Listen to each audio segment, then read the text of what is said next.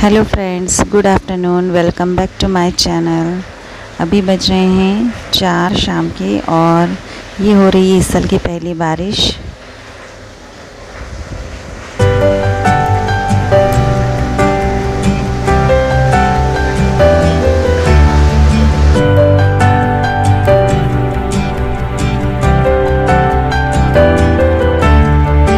तो चलिए फ्रेंड्स बारिश के मौसम में बनाते हैं झटपट पोहा रेसिपी ये है पोहे भिगे हुए और कोथमीर डाल दी है मैंने उसमें, काट के।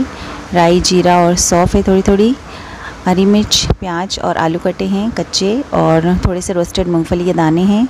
ये प्याज है, थोड़ी सी ऊपर से खाने के लिए। ये हल्दी और मिर्च है। और अब हम पोहे में ही शक्कर और थोड़ा सा नमक मिला देंगे और हल्दी भी मिलाएँगे। और चलिए झटपट बनाते हैं हम पोहे की रेसिपी क्योंकि पोहे पहले से भीगे हुए हैं प्रिपरेशन कर चुके हैं तो जल्दी से बन जाएगी।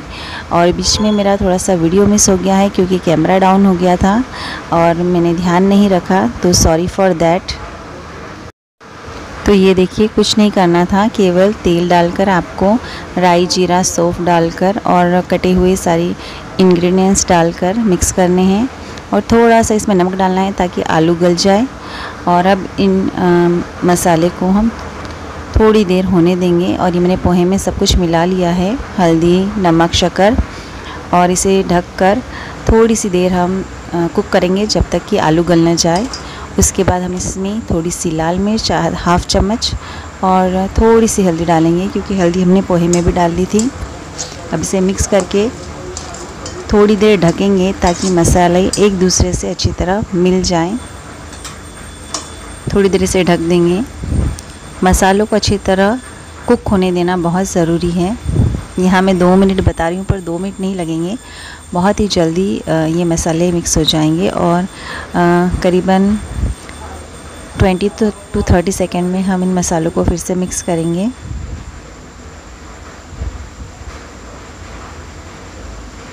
ये देखिए, शायद 20-30 सेकेंड हुए होंगे। अब इस मसाले को मिक्स करके हम इसमें डाल देंगे पोहे।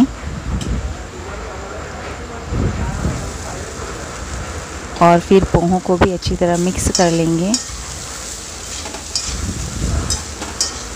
और पोहे ऐसी चीज़ है, ऐसा नाश्ता है जो बहुत ही जल्दी बन जाता है।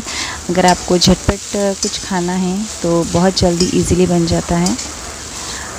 अब पोहे को हम थोड़ी देर और ढकेंगे ताकि ये अच्छे से भाप में हो जाए।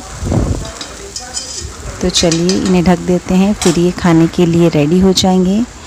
और एक बार ढकने के बाद हम इसे फिर से खोल कर एक बार मिक्स करेंगे और फिर ये तैयार हैं। तो ये देखिए, हमारे पोहे खाने के लिए तैयार हैं। आप भी खा लीजिए। तो देखिए फ्रेंड्स, अभी भी बारिश रुक नहीं रही है, अभी भी चल रही है। लगभग एक घंटा हो चुका है बारिश होते होते। और पहली बारिश अगर अच्छे से हो जाए तो गर्मी भी थोड़ी कम हो जाती है। तो आइए मैं इस तरफ़ से भी आपको बताती हूँ। बारिश का नज़ारा। तो बाय फ्रेंड्स